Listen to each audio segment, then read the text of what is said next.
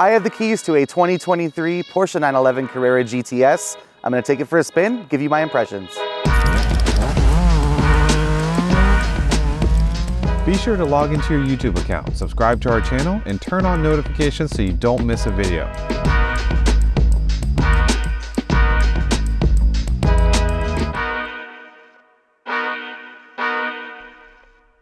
Porsche offers GTS versions of nearly all its cars, and they tend to be the sweet spots of the various model ranges.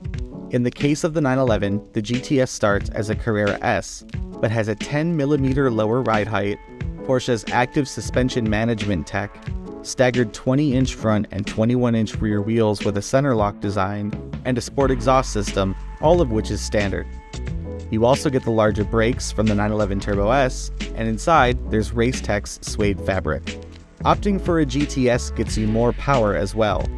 This car has the same 3-liter twin-turbo flat 6 engine as the Carrera S, but power is boosted to 473 horsepower and 420 pound-feet of torque, increases of 30 horsepower and 30 pound-feet.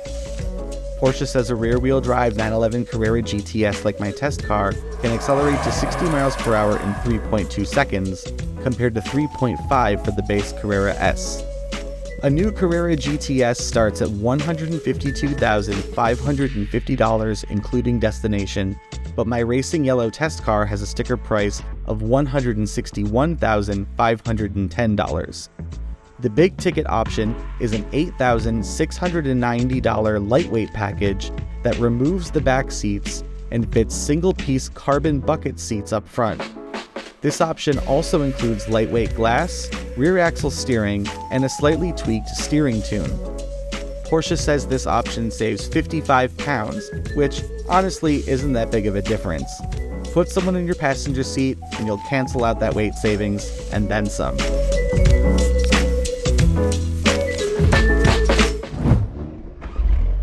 Let's head out in the 911 Carrera GTS.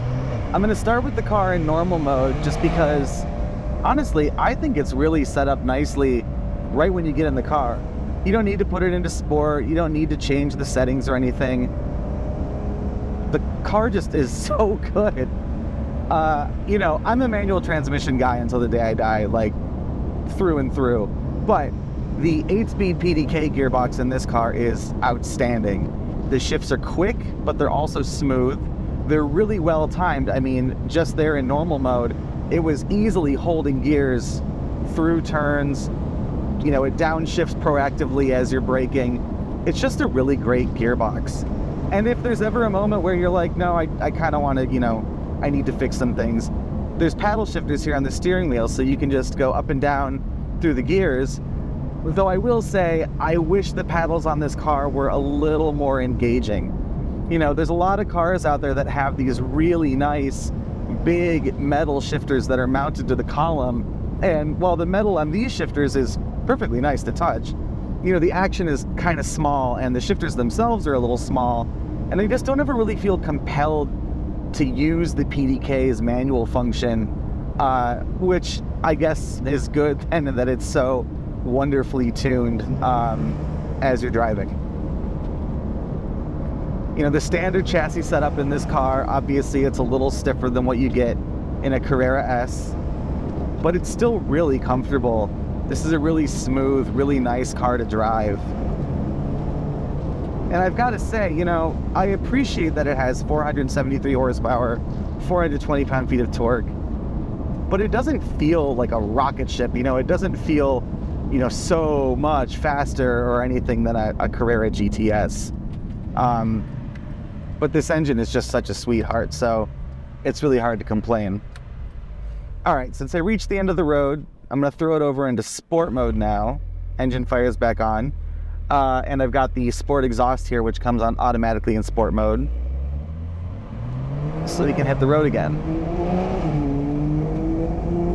You know, this car has the lightweight package, uh, which is expensive. It's almost $9,000. But one of the things that you get is thinner glass with less noise insulation. So it means you can really hear that sport exhaust a lot better.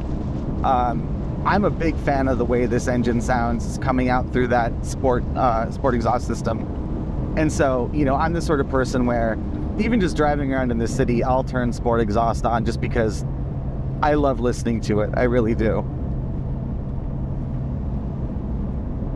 Steering in this car is just so wonderful. It's really light on center, but there's tons of feedback. You really know exactly what's happening at road level. There's a lot of communication, a lot of feedback through the wheel. And that's one of the things I've always appreciated the most about Porsche sports cars. They talk to you. You feel like you know what's going on. And, you know, when you're driving a fast car on a good road, that's really important. Equally important, uh, this car has the torque vectoring rear differential. Sorry, I just, I love pulling hard in this car. But between the torque vectoring rear differential and the rear axle steering, uh, there's just a ton of grip. You know, a lot of that comes down to the 305 section rear tires, which do a lot to really make this thing handle beautifully. Um, but being able to move the torque across the axle and then that little bit of steering from the rear axle just to kind of help tuck the rear end in around corners. It just it it really really really makes a world of difference in how this car drives. I guess i've got to say a final note here about the brakes in this car. You know these aren't carbon ceramic brakes. These are the same brakes that you get in a 911 turbo but they're just so wonderful. I never feel like there's a lack of power or there's any fade or you know there's you can brake hard like that and there's no front end dive there's no skittishness there's no nothing. The brakes are just solid. They really feel like they can last for, you know, miles and miles and miles of repetitive use. All right, so for this final quick run, I'll pull into Sport Plus mode just to get a little bit of a... Uh, just like that. I mean, the gearbox holds everything to redline. Sport Plus mode really turns this car into the next level animal that it is. Uh, I mean, this thing is just super fun to drive. All right, so now that I've come back, put the car in park, turn off the sport exhaust so you can hear me more. Let's go through the scorecard about this car. So first up, we've got the car show factor, which, look, I live in Southern California. 911s are kind of a dime a dozen here. So if you want your car to stand out, especially at a car show, you've got to do an interesting color, a cool spec, something to differentiate it from the crowd. I think the 911 Carrera GTS looks good. I love the sport front end. I love the staggered wheels. You know, everything about it is nice fundamentally, but the exact spec of this car is just not for me. Racing yellow's nice, makes a statement, uh, but black wheels, I just I can't get behind. They kind of get lost in the overall design of the car. You know, all the little things that differentiate 911s from each other. There's so many little ways that you can make your car stand out. And I just feel like this exact spec, which it's kind of unfair to say because it's a media review fleet car, uh, I just wouldn't do it this way. But so I guess in terms of car show score, I'm gonna have to give this one a six. It just it looks like any other 911, which isn't to say it's bad because the 911 looks great, but there's just something kind of missing about this car. So next up, we'll go for the daily driver factor. And that's where this score, or that's where this car scores really highly. I mean, you can get it pretty much loaded with everything. I've got a nice Alcantara steering wheel.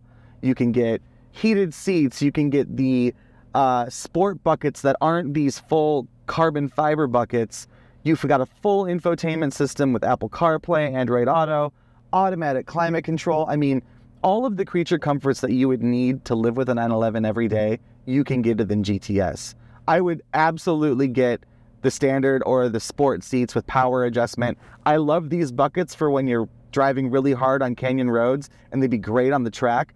But for daily driving, they're a little hard to get in and out of. They're comfortable, but it's just, I, I feel like I wouldn't really prioritize this level of support every day, um, especially since you can't get them with heat, and I will always have heated seats in my car. So I guess daily driver point wise, we'll give it a nine because you really could drive this car every single day. I would probably sooner rather have a Carrera S or even a base car or a Carrera T just because you can get kind of the same level of equipment with you know, a little bit less power and you don't need all 473 horsepower to make a statement day to day. But yeah, so we'll score it pretty high as a daily driver. Road trip now, I'm going to have to score it a little lower because this car has the lightweight package. So there's no rear seats, which means you've got places to put bags and things, but it's a lot louder on the freeway. There's more tire noise, there's more wind noise. Uh, you know, the exhaust after a while on the freeway, I usually end up turning it off just because, you know, it's it's starting to drown out any conversation that I'm having or any music that I'm listening to. I mean, this car has the optional Bose stereo system, which is really nice, but it's kind of useless at freeway speeds just because it's so loud in here. Uh, comfort wise, the 911 is great for a road trip, so no issues there.